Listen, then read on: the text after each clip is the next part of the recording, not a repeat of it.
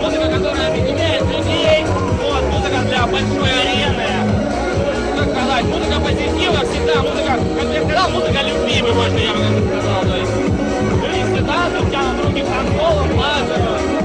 То есть, все великолепно, все позитивно. Мало людей, очень мало людей, когда мы музыки. Очень мало. Очень мало народу, да.